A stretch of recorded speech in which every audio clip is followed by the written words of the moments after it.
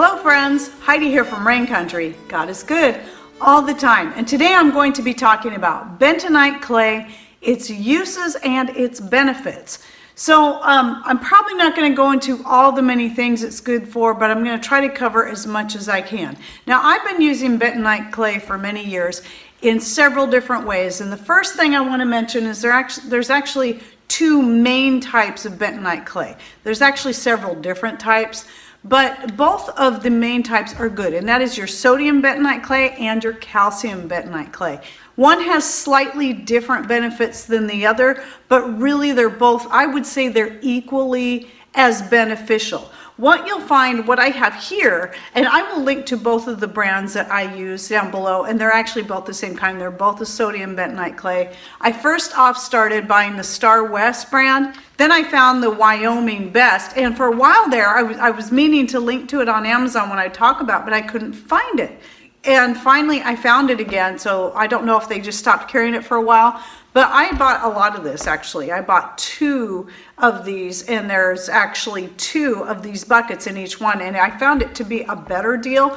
And uh, anyway, I, I believe they're equally as good, but they're both the sodium bentonite clay.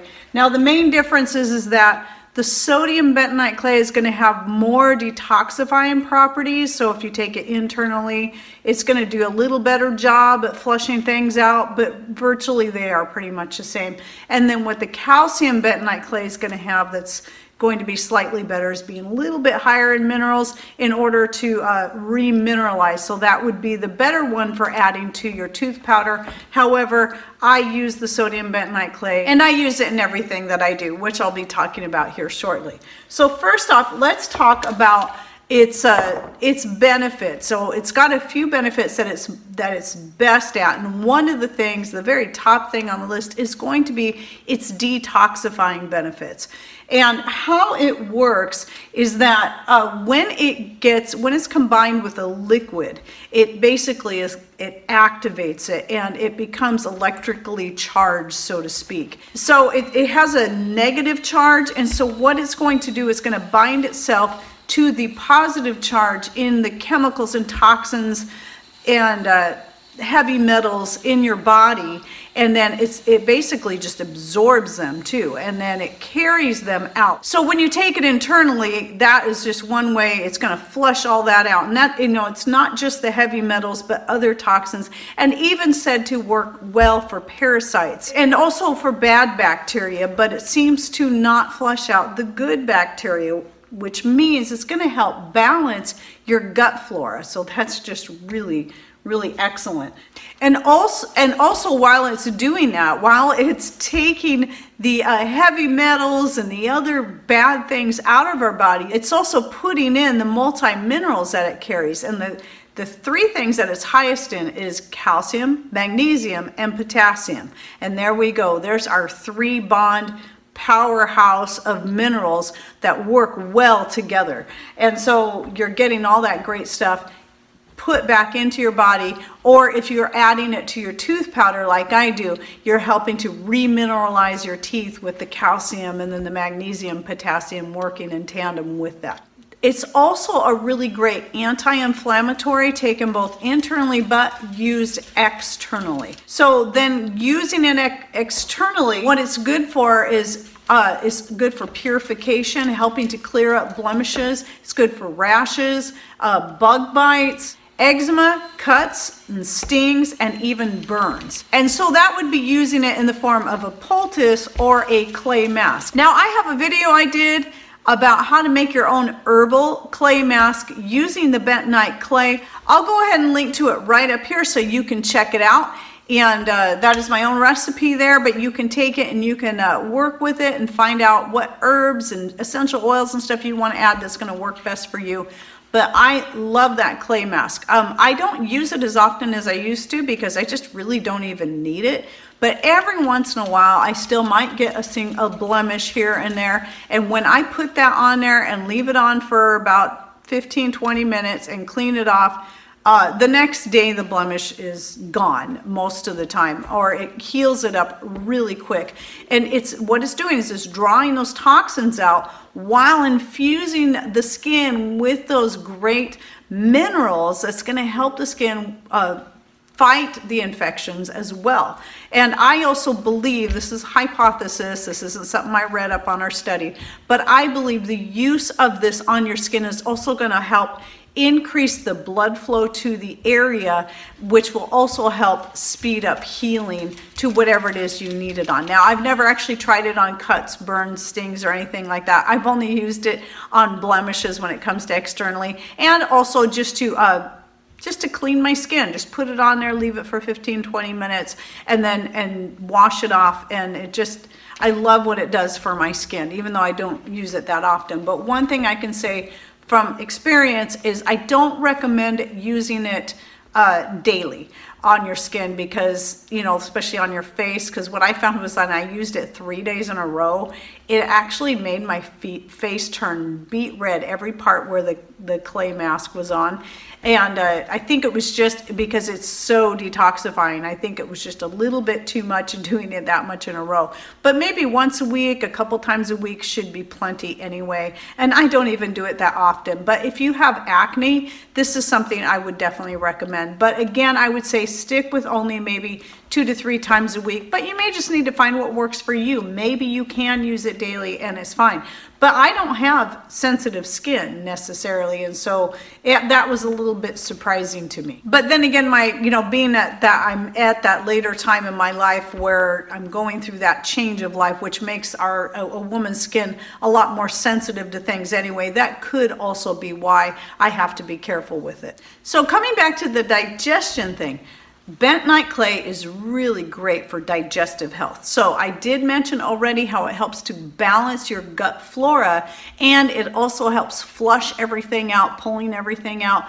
But it's also really good if you have any type of digestive problems, such as nausea, especially diarrhea. I would think it would help with acid reflux. It's even actually good at alleviating morning sickness. So that's something to consider right there if that's something that you deal with when you're pregnant.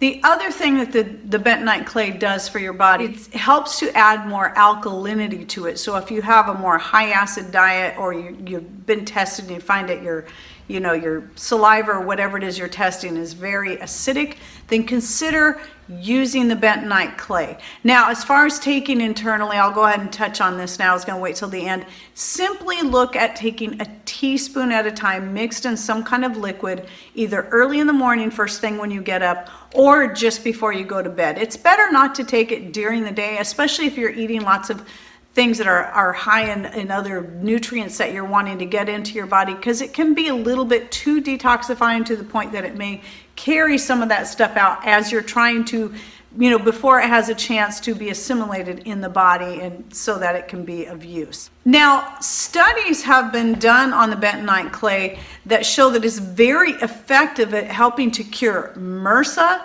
uh, salmonella, and even E. coli.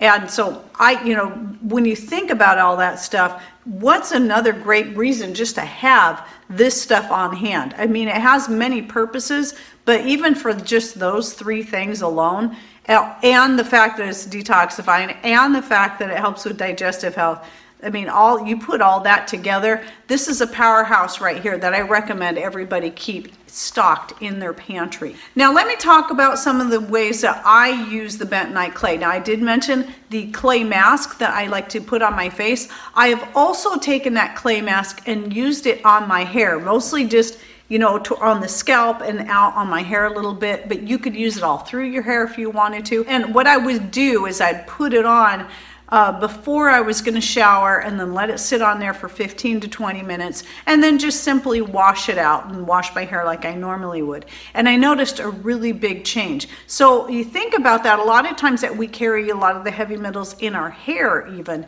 And so when you put that on your hair, that's going to help pull all that out of your hair and really clean your hair. And it does, I find that it softens my hair quite a bit too. So there's a couple of different ways that you can use that clay mask. And remember that you can also make more of a poultice out of it. Me, I would just simply use my clay mask. So next time I get a burn, a scratch, a cut, if I remember, I'm gonna take my clay mask and put a little bit of that on there and see how that works for me. And then I also mentioned using it in a tooth powder. This is what I do. I've actually have a, a tooth powder recipe. I, am always changing it all the time and mixing it up. But I'll go ahead and link to my last tooth powder recipe up here. I believe in that one I am using the bentonite clay. If I'm not, then Take that recipe and simply add some bentonite clay to it and then mix it in really well and then there you go. You've got a really great tooth powder that's not only going to kill the bad bacteria in your mouth, it's going to remineralize your teeth and then just clean them really good. And it also helps to whiten your teeth as well. I've noticed that with the bentonite clay that it works better at whitening my teeth than say the baking soda did. I also have started adding a, a, pinch of this to my mascara recipe. So if you want to see my mascara recipe, one of these days I need to reshoot that video with better lighting and I might someday in the near future, but I'll link to it up here. You can check that out. And what I've started doing is putting in just a little bit of bentonite clay.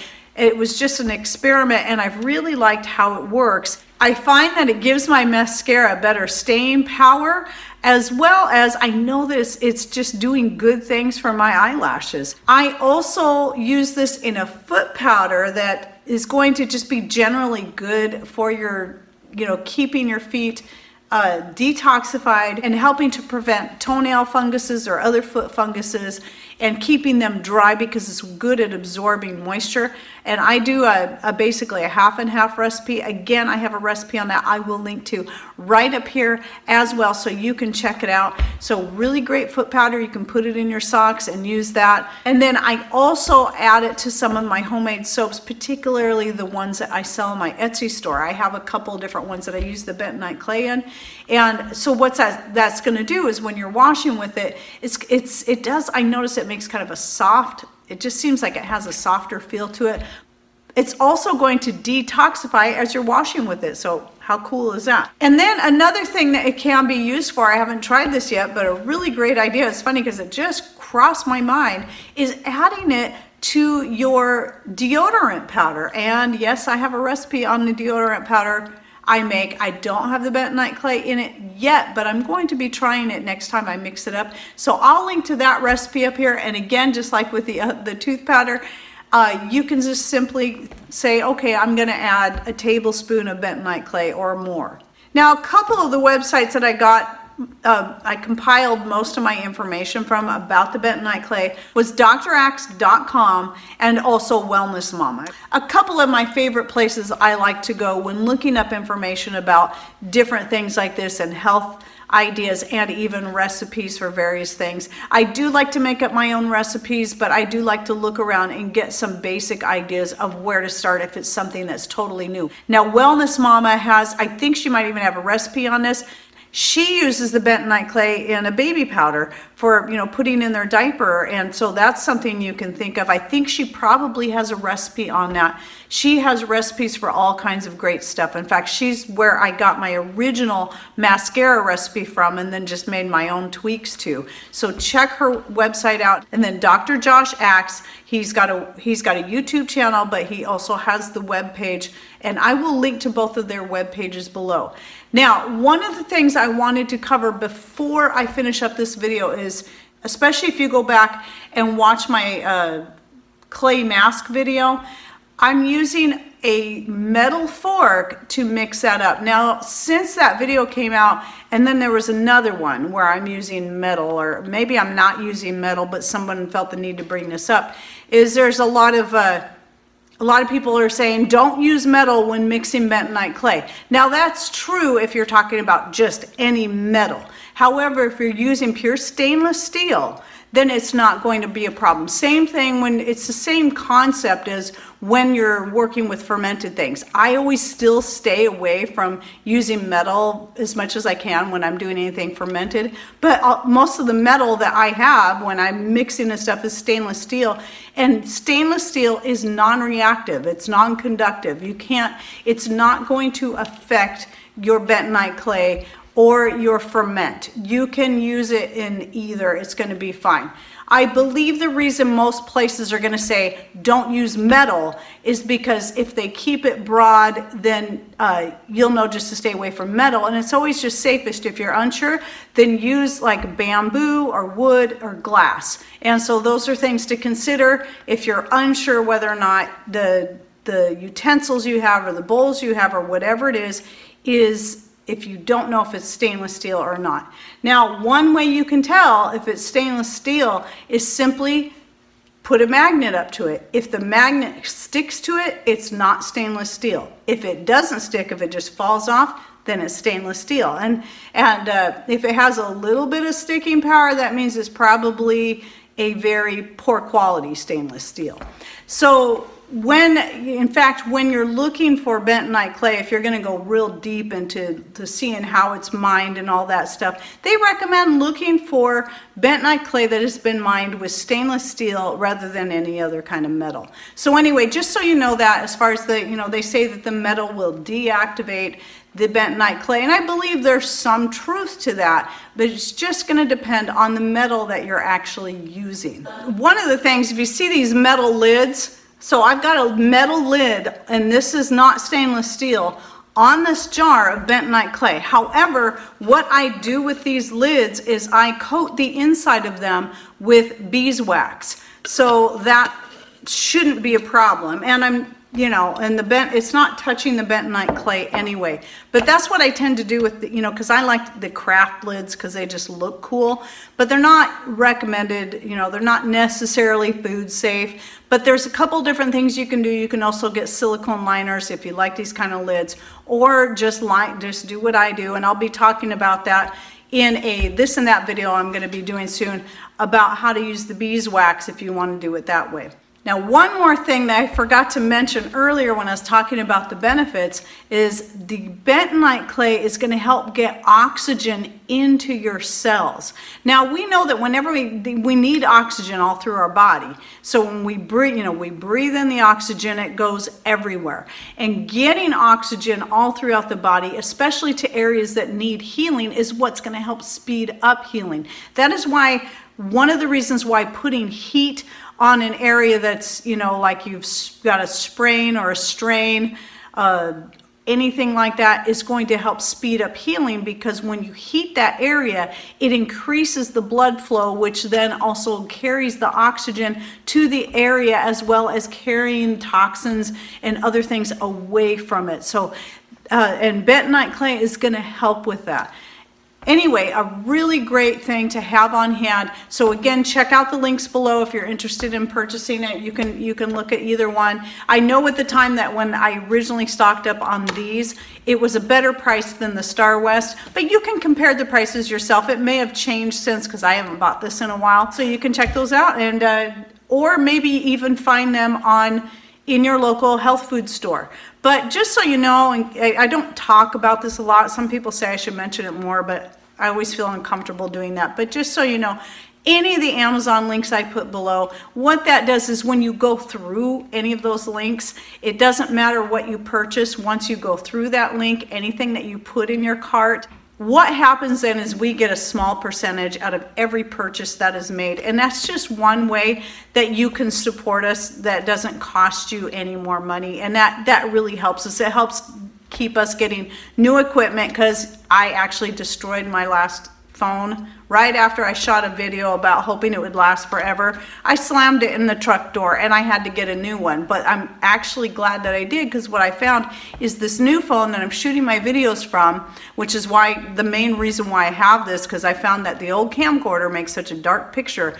But this makes an even better picture than my last iPhone. So this is, uh, I'm really happy with this. So everything that you do like that just kind of helps us to be able to invest in better things to help bring you better videos, better movie editors and things like that because all that stuff costs money to, to get and so when i first started out everything was dark the sound quality wasn't great but i've been learning and improving on things as i go so those little ways that you can help out also help uh, you know helps us to bring you better content just so you know. However with that in mind if you can find the bentonite clay or any other products that I recommend for a better price, then please go for the better price if you can find it locally. And also because you'll be supporting your local stores and you being frugal and saving money and helping to support your local business is more important than making purchases through our Amazon links. Okay, well, I hope you enjoyed this video and that you learned something new and consider stocking up on your bentonite clay so you have it. And oh yes, it's good for your pets too. So there you go. It'll do all the same kind of stuff for your pets as it does for you. Okay, thanks for watching. Take care and God bless.